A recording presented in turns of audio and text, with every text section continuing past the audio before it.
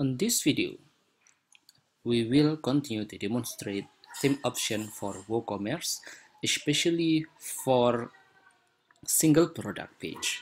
So this is default single product page on the Marketica WordPress themes. You can see that we use product slider here. If you want to change this, you can go to the dashboard appearance theme option and then WooCommerce and then go to the WooCommerce single product options here.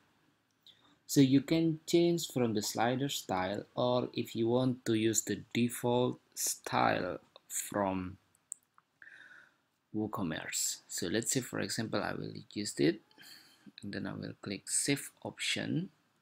Then I will refresh it so now it will use the default style of WooCommerce where we show big feature image and then follow with some product gallery image.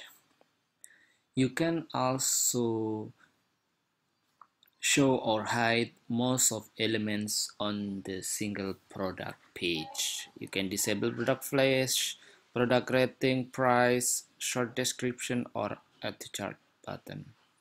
Or you can also hide the product SKU product attributes product meta. So basically this is the single product item details that you can see on the this section. You can also remove it or hide it if you do not need it. And scroll down you can also customize uh, or disable related products upsells and also cross sells thank you very much